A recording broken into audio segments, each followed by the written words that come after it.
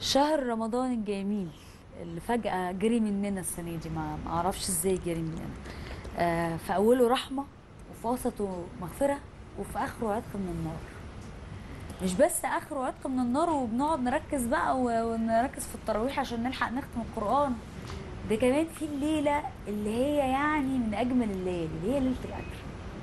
عشان نعرف فضلها ونعرف حكايتها ونعرف تفاصيل أكتر عنها يسعدني إن يكون معايا فضيلة الشيخ فتحي زياد الداعية الإسلامي.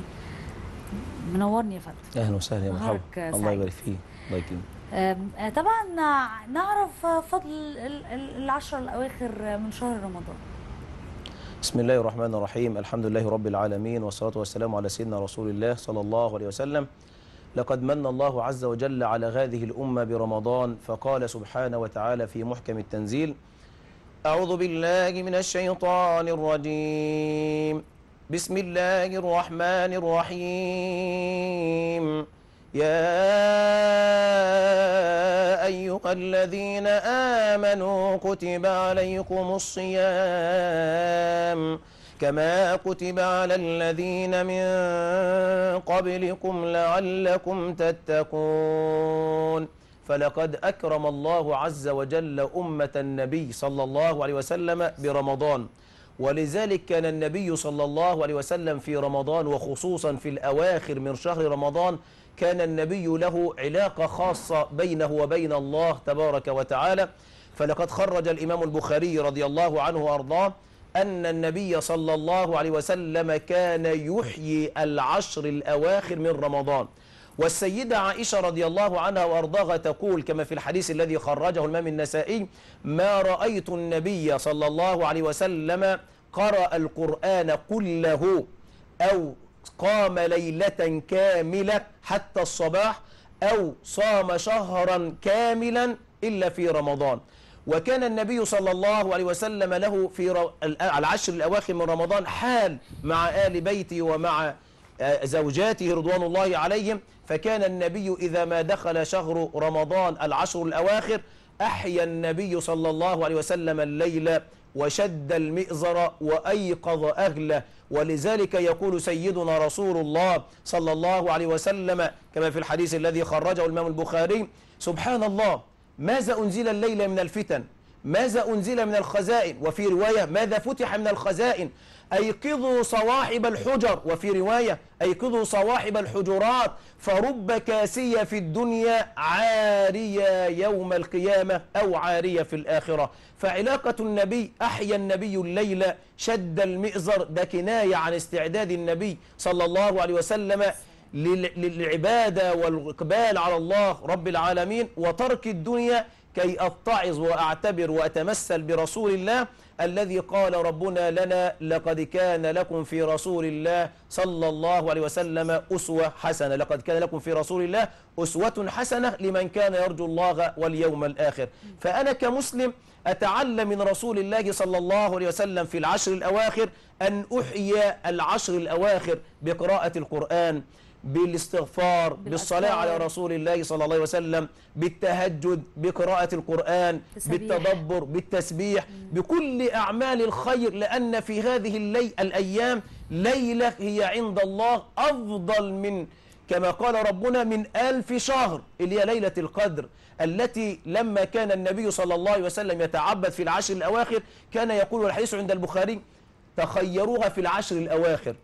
وأجمل النبي كي يكون المؤمن في علاقة مستمرة مع الله في العبادة والطاعة. فضيلة الشيخ آم، آم، يعني حضرتك بتقول أهو عن الرسول عليه الصلاة والسلام اللي هو الليلة إيه؟ تخيروها. هل ده معناها إن هي نتخير أي ليلة كده في العشر الأواخر ولا هي فعلا ليها علامات كده معينة وليها دلائل كده معينة؟ النبي صلى الله عليه وسلم قال تخيروها في العشر الأول حديث في البخاري. وفي رواية عند البخاري النبي حدد وقال تخيروها في الوتر من العشر الأواخر. اللي هي الأيام الفردية ليلة 21 23 25 27 أو 29 واختلف العلماء في هذه الليلة يا ترى هي أي ليلة من هذه الليالي؟ على مسألة من الخلاف. أيوة. ولكن ما عليه جموع صحابة النبي صلى الله عليه وسلم وأكثر العلماء أنها في ليلة السابع والعشرين اللي هي الليلة بتاعت النهاردة إن شاء الله.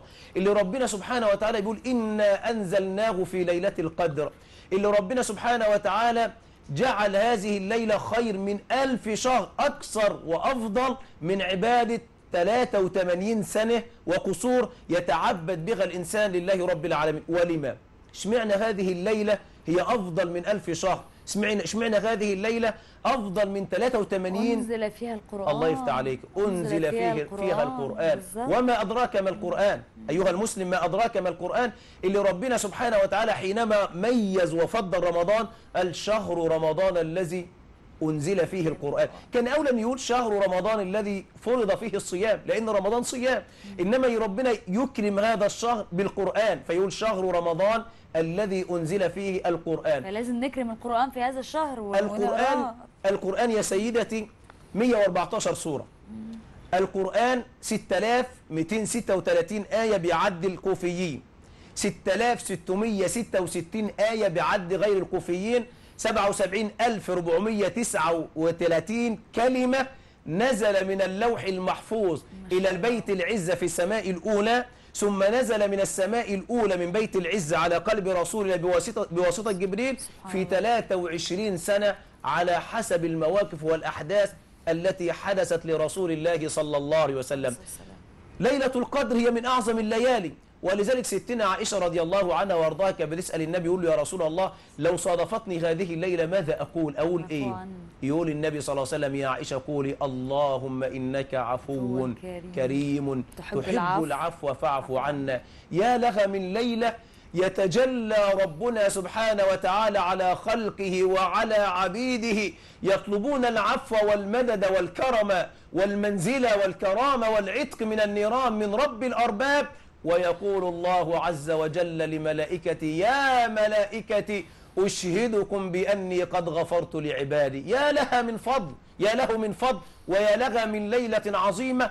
الله يقول فيها سلام هي حتى مطلع مطلع الفجر. الفجر. هذه الليلة تتنزل الملائكة إلى الأرض حتى أن الأرض كادت تضيق بالملائكة. ولذلك يقولوا القدر التعظيم أو التضييق. ولماذا التضييق؟ إن أنزلناه في ليلة القدر. سمي بالقدر لأن الأرض تضيق بالملائكة من كثرة الملائكة التي تتنزل من السماوات إلى الأرض. آه، فضيلة الشيخ طبعا بيقولوا لما. بيشتد البلاء على ال- ال- المسلم آه، المفروض تكثر الاستغفار وأيضا تطلب العفو من عند ربنا. فإحنا طبعا عايزين نطلب العفو هذه الأيام ال- الكريمة. آه، عايزة أتكلم عن فضل الصدقات في العشر الأواخر وبالذات في ليلة القدر لأن أنا سمعت إنه لو الشخص وهو مش واخد باله وتصدق في الليلة ديت بيتكتب له حسنات وبيتكتب له ثواب عظيم جدا. هل الكلام ده مظبوط؟ هذه ليلة ميزها وفضلها ربنا عز وجل بأن فيها تكتب مقادير العباد السعداء الأشقياء المهمومون الغير ذلك. هذه ليلة تقدر فيها الأعمال تنزل من اللوح المحفوظ إلى خلق الله عز وجل بواسطة الملائكة. فالله تبارك وتعالى في هذه الليلة التي ميزها وقال إن أنزلناه في ليلة القدر جعل ربنا عز وجل هذه الليلة الصدقة فيها لها أجر عظيم.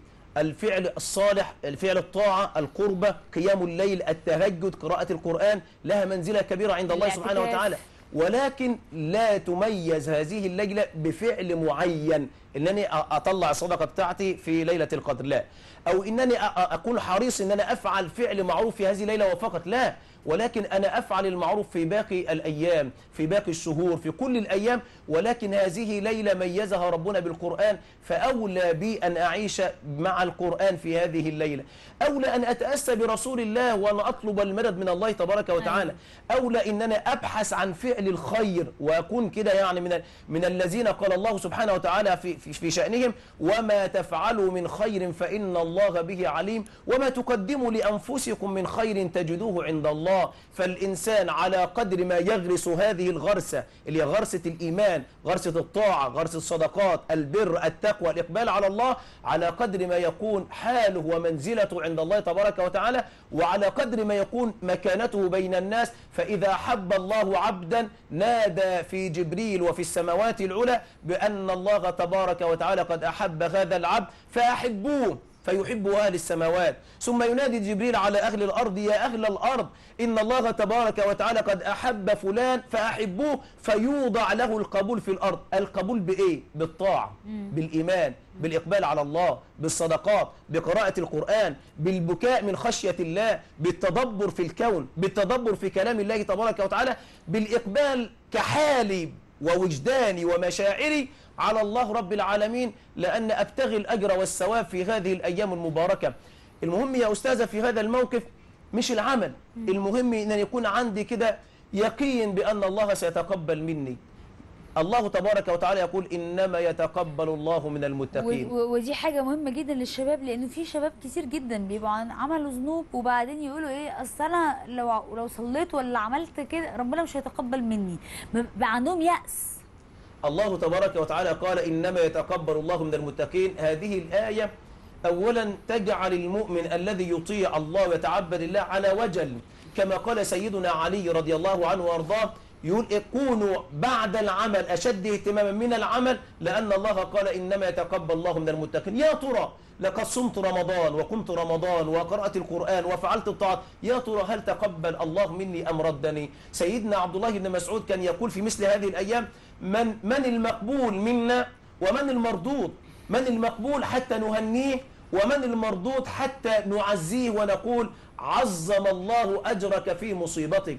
الإنسان على وجل يا ترى هل قبل الله أم ردني الله ولكن الله تبارك وتعالى يفتح بابه إلى كل عباده مهما كان الحال مهما كان مهما كان العبد مهما كان بعده عن الله مهما كان قربه من الله. الله تبارك وتعالى يقول في هذه الآية التي تسمى بأرجى آية في القرآن يقول الله تبارك وتعالى أعوذ بالله من الشيطان الرجيم.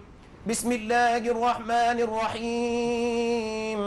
قل يا عبادي الذين أسرفوا على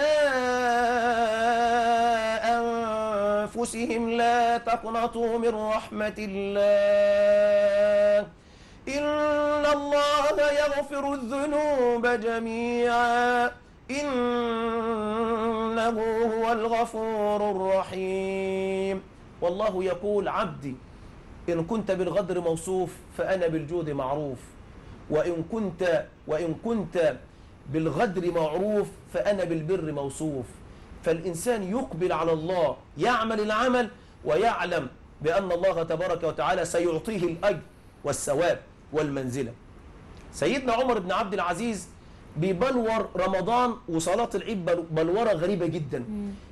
بعد ما اجتمع الناس في صلاة العيد يقول, يقول لهم أيها الناس لقد صمتم ثلاثين يوما وكنتم ثلاثين يوما. ثم بعد ذلك خرجتم إلى الله في هذا المشهد تطلب تطلبون من الله أن يتقبل هذا العمل. أنا في صلاة العيد في هذا المشهد الرباني بعد رمضان أنا حريص أن ربنا يتقبل صيامي. أنا حريص أن ربنا يتقبل قيامي. أنا حريص أن ربنا يتقبل قراءة القرآن. أنا حريص أن ربنا يتقبل كل أعمالي في رمضان. كأني بقول لربنا يا رب لقد قلت لنبيك وقال نبيك لنا فأروا الله من أنفسكم خيرا. فنجتهدت يا ترى هل العمل هذا الهمل سيضيع هباء؟ هذا العمل سيضيع هباء منصورا؟